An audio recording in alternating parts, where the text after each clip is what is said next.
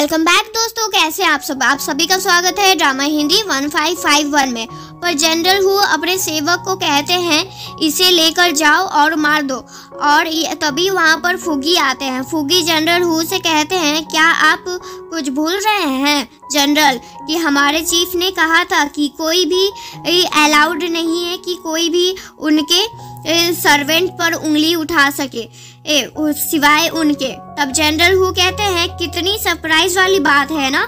मैंने अपने मूवमेंट इतने छुपा छुपा के किए फिर भी तुमको पता चल गया कि मैं यहाँ पर हूँ। और हंसने लगते हैं बोलते बोलते तब फूगी कहते हैं चीफ हमारे बहुत रिसोर्सफुल आदमी हैं। ये तो आपको पता ही होगा ना जनरल क्या जनरल हूँ आपको ये भी नहीं पता था तो ये तो अच्छी बात नहीं है कि आपको ये तक नहीं पता है। आपके रिसोर्स में आखिर है क्या जो आपको ये सब भी नहीं पता चलता है? और अच्छा यही होगा कि आप यहाँ ये सब तमाशा करना बंद कर दे। जनरल हु कहते हैं जियो मेरे लिए बहुत इम्पोर्टेंट है। अगर वे इस, इसे वापस ले जाना चाहता है तो कैंग को खुद ही यहाँ आना होगा। फूगी कहते हैं हमारे ने कहा है कि अगर आप सब में से किसी ने भी जियो को हर्ट करने की ट्राई भी की तो उसके लिए अच्छा नहीं होगा। तब जनरल हु कहते हैं, अगर ऐसा हुआ तो तुम क्या ही कर लोगे? तब फूगी कहते हैं, आप सब में से कोई भी यहाँ पर ज़िंदा, यहाँ से ज़िंदा नहीं बच के जा सकता होगा। तब तब तो जनरल हु बहुत गुस्से हो, गुस्सा हो जाते हैं और और उनके सामने कहते हैं कि तुम मुझे, मेरे सामने ही मुझे धमकी दे रहे हो। तुम बस एक कैंग के नौकर हो और तुम मुझे धमकी दे रहे हो।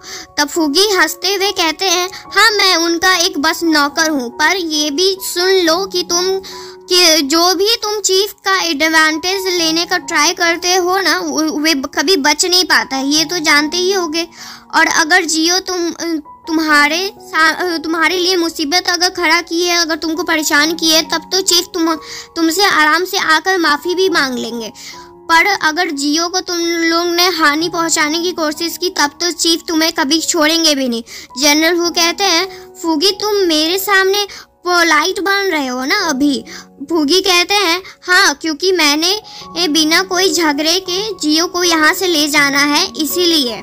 और चीफ भी जियो को, जियो का वेट कर रहे होंगे। तब जनरल हु फुगी के पास थोड़ा आकर कहते हैं, क्या बाहर कैंग आया हुआ है? तब जियो अपने मन में बोलती है, अगर कैंग आए हुए होते तो फुगी यहाँ अकेले अंदर कभी भी नहीं आते। और वे तो कब का कोई प्लान बना के इन लोग पर हमला भी कर देते। इतना वेट नहीं करते कैंग तब जियो एक्टिंग करने लगती है कि कैंग तुम मेरी चिंता मत करो और इन सब पर ना एरो रिलीज़ कर दो।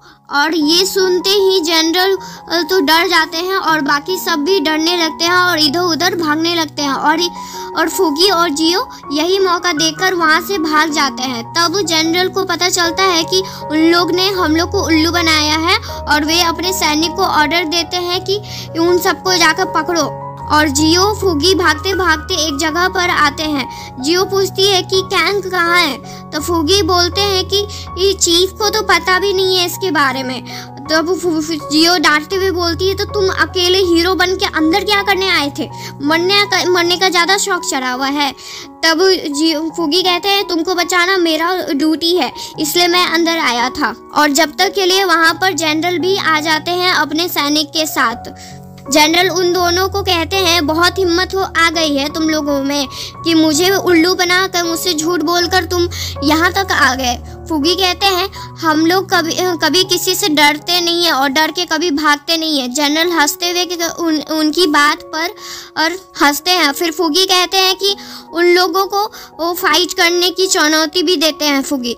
जियो को वो मना मना कर रही होती है कि इन लोग से लड़ने की कोई ज़रूरत नहीं है। इन लोग बहुत सारे हैं, तुम कैसे लड़ोगे? फूगी कहते हैं, तुम चिंता मत करो, मैं इन सब के सामने आराम से लड़ सकता हूँ। फिर फूगी जियो को घोड़े पर बैठाकर उसे भेज देते हैं वहाँ से। फूगी बोलते रह जाती है कि फूगी, ऐसा मत करो, तुम अकेले वहाँ नहीं लड़ पाओगे, मुझे भी रहने दो। पर फूगी कहते हैं कि, तुम चीफ का ध्यान रखना। और फिर फूगी उन सब सैनिकों से अकेले ही लड़ रहे होते हैं, जिसके कारण उन्हें बहुत चोट भी लग रही होती है, पर वे फिर भी लड़ रहे होते हैं। पर लास्ट में फुगी को फुगी को दो सैनिक तलवार और घोप देते हैं उनके अंदर। पर फुगी चिल्लाकर यही बोलते हैं, जियो से कि तुम चीफ का ध्यान रखना मेरे तरफ़ से भी। और फुगी अपने लास्ट मोमेंट तक लड़ रहे होते हैं और जियो उनके साथ अपना मूवमेंट उनको याद आ जाता है और जनरल फुगी को लास्ट में मार देते हैं। और जियो अब तक घर आ चुकी होती है और कैंग उसे पूछते हैं कि तुम्हारा ऐसा हालत कैसे हुआ? पर जियो कहती है कि ये लो ये ना फूगी ने तुम्हारे लिए दिया है। ये कुछ सामान अनफुगी ने दिया है। पर कैंग पूछते हैं कि फूगी कहाँ है? पर जियो डरते हुए कहती है कि ये, फु, ये फुगी अब नहीं रहा। फूगी को जनरल हु ने मार दिया। और वे कहते कहते ही वहाँ पर बेहोश हो जाती है। पर कैंग को ये बात सुन के तो बहुत शौक लग जाता है और ये अब फूगी उनके साथ नहीं है और साथ ही उनके आँखों में किसी की जान उनसे मारने की खून उनका तरस होता है। और अगली सुबह जनरल हु वापस आते हैं और साथ ही फुगी का बॉडी भी उस तरह से लेके आ रहे होते हैं अपने घोड़े के पीछे बांधकर। जनरल के सेवक उनसे पूछते बोल रहे होते हैं कि आ, आपको चीफ से डर नहीं लग रहा कि चीफ अब आपको मार देंगे? जनरल उसे गुस्से में देखते हैं पर उससे कहते हैं कि आखिर उसके पास क्या ही प्रूफ है कि वे मुझे मारेगा? और जनरल के सामने एक कॉफिन रखा होता है और तभी वहाँ पर चीफ के भी सैनिक आ चुके होते हैं और उन, उनमें से जियो भी एक होती है। और उनमें से एक बोलता है कि जनरल फूगी का बॉडी आप यहीं पर छोड़ दें तभी हम लोग आपको यहाँ से आगे जाने देंगे। तब जनरल बोलते हैं क्या तुम लोग का मुझ पर शक कर रहे हो कि मैंने तुम्हारे साथी को मारा है? मैं तो तुम्हारे साथी को यहाँ तक लेके आया हूँ। इसका शुक्र बनाओ।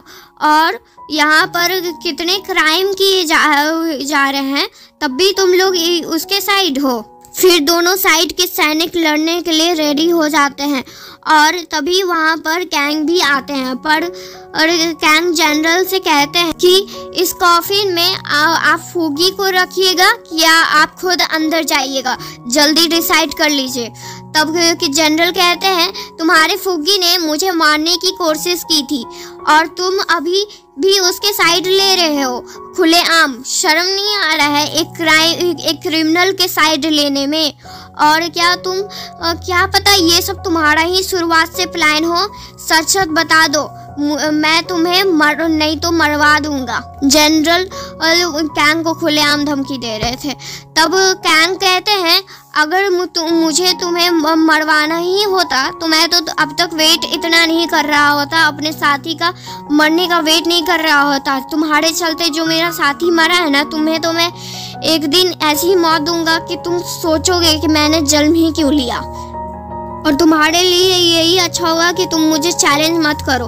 फिर जनरल और हँसते हुए कहते हैं, चीफ, जब आपने डिसाइड कर ही लिया है कि आप फोर्स का यूज़ करेंगे, तब तो आप इसका वेट कीजिए और इसको फेस करने के लिए रेडी रहिए, क्योंकि कभी भी आपके साथ कुछ भी हो सकता है अब। और ये बोल के वे जी पुगी को रस्सी से काट देते हैं और फिर उसके बाद वे वहाँ से चले जाते हैं। थैंक यू दोस्तों, यहाँ तक ये स्टोरी देखने के लिए।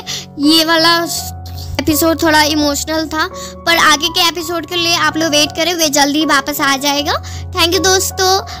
अगर आपको ये वीडियो पसंद आए तो इसको लाइक एंड सब्सक्राइब ज़रूर करें। अगर आपको गवर्नर सीक्रेट लव का ये एपिसोड सब पसंद आ रहा है तो इसका बाकी सभी एपिसोड का पार्ट्स बनाए हुए हैं हम तो आप उसको जाकर देख सकते हैं। Thank you